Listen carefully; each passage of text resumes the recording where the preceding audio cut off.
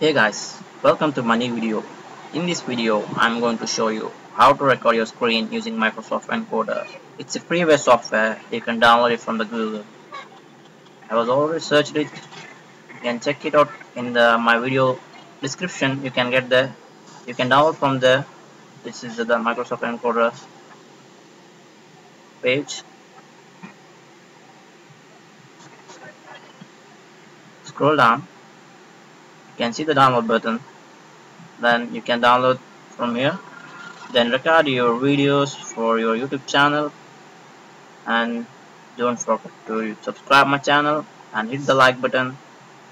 And don't forget to share. So thanks for watching. Please do subscribe my channel. Hashtag